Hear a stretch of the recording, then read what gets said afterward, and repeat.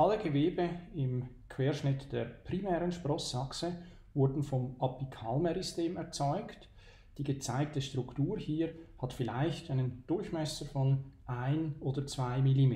Sie ist also sehr dünn. Im Laufe der Monate und Jahre kann aus diesem dünnen Trieb ein dicker Ast oder ein dicker Stamm heranwachsen. Wir wollen verstehen, wie im Laufe der Jahre aus einem dünnen primären Trieb ein sehr dicker Ast oder ein sehr dicker Stamm werden kann. Dazu benötigen wir hier diese Abbildung, das sekundäre Dickenwachstum, das im Laufe der Jahre den dicken Ast oder den dicken Stamm erzeugt. Dieses sekundäre Dickenwachstum wird von zwei Kambien erzeugt. Ein Cambium ist ein Gewebe, das sich in einer Pflanze drin teilen kann. Das Leitgewebe-Cambium, das liegt etwas weiter innen in der Sprossachse und das Leitgewebe-Cambium besteht aus Zellen, die sich teilen können. Das ist die einzige Funktion von diesem Leitgewebe-Cambium. Neues Gewebe zu erzeugen, neues Gewebe gegen außen und neues Gewebe gegen innen. Gegen außen erzeugt das Leitgewebe-Cambium sekundäres Phloem. Phloem transportiert die Assimilate, den Zucker, Sekundäres Phloem heißt es, weil es zu einem späteren Zeitpunkt gebildet wird durch sekundäres Dickenwachstum. Das sekundäre Phloem wird gelegentlich auch als Bast bezeichnet. Diesem Begriff begegnet man nicht ganz so oft. Wir wollen ihn hier trotzdem erwähnen. Die gezeigten Pfeile sind unterschiedlich groß und das passt sehr gut, denn das Leitgewebe-Cambium erzeugt auch gegen innen neues Gewebe. Gegen innen erzeugt es sogar deutlich mehr neues Gewebe. Und dieses gegen innen erzeugte Gewebe, das ist das sekundäre Xylem oder Holz. Auch hier sekundäres Xylem weil es zu einem späteren Zeitpunkt im Leben der Pflanze gebildet wurde. Zur Erinnerung, das Xylem das transportiert Wasser und darin gelöste Nährstoffe, die von den Wurzeln aufgenommen wurden. Die Abbildung hier ist von den Proportionen her nicht ganz korrekt. Insofern nicht ganz korrekt, weil das Leitgewebe-Cambium sehr viel mehr sekundäres Xylem produziert, also sehr viel mehr Holz erzeugt, als es gegen außen sekundäres Phloem oder Bast produziert. Wenn man im Wald einen gefällten Baum anschaut und den Querschnitt des Stammes betrachtet, dann sind 99 Prozent, die man da sehen kann, sekundäres Xylem und nur eine ganz dünne Schicht am Rand, gleich unter der Rinde, ist sekundäres Phloem. Man muss schon sehr genau hinsehen, um dieses sekundäre Phloem oder den Bast sehen zu können.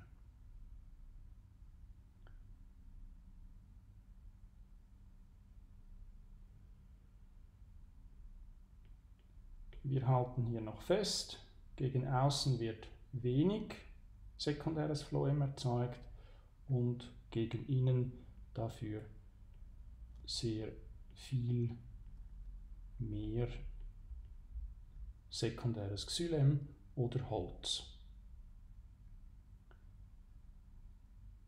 Nun gibt es hier noch primäres Phloem und primäres Xylem. Das primäre Phloem, das hat keine Funktion mehr das wird durch das neu gebildete sekundäre Phloem zerdrückt. Das Gewebe wird zerrieben, ist hier nicht mehr von Bedeutung.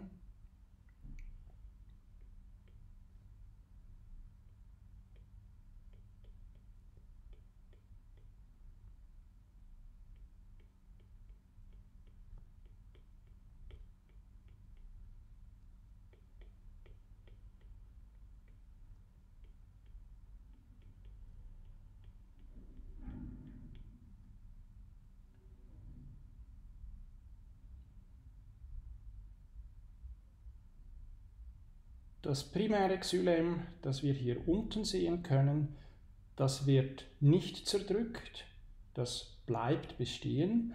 Allerdings von der Menge her im Vergleich zum sekundären Xylem bildet das primäre Xylem einen so kleinen Anteil, dass es für den Wassertransport nicht mehr relevant ist. Also in einem Stamm von einem ausgewachsenen Baum wird der gesamte Wassertransport vom sekundären Xylem übernommen.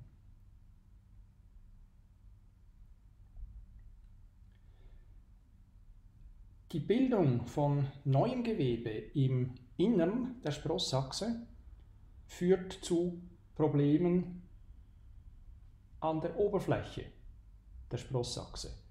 Wenn das Volumen im Innern zunimmt, dann hat das Abschlussgewebe an der Oberfläche insofern ein Problem, dass es diese Volumenzunahme mitmachen muss.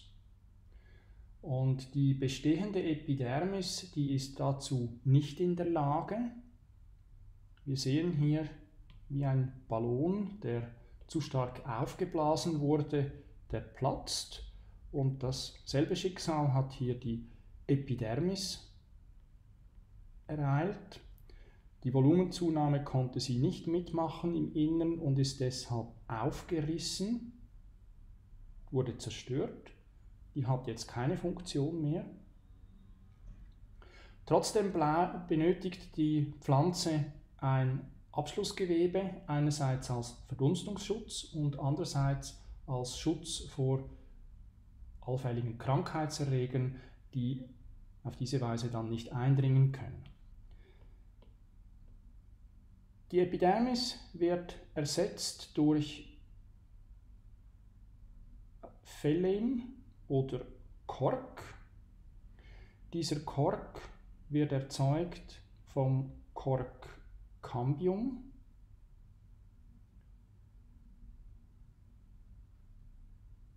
Der Kork wird vom Korkkambium gegen außen erzeugt.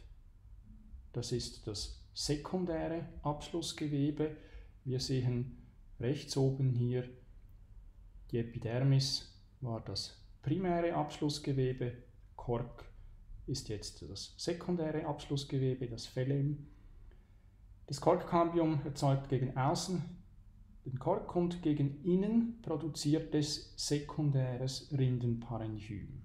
Also genau wie das Leitgewebekambium ist auch das Korkkambium in beide Richtungen aktiv. Es erzeugt gegen außen Kork, Phellem und gegen innen sekundäres Rindenparenchym, das Phelloderm. Hier auf der Seite sehen wir diese drei Gewebe zusammen, Kork, Phellem, Korkkambium, Phellogen und das sekundäre Rindenparenchym das Phelloderm bilden zusammen das sekundäre Abschlussgewebe oder Fachausdruck das Periderm.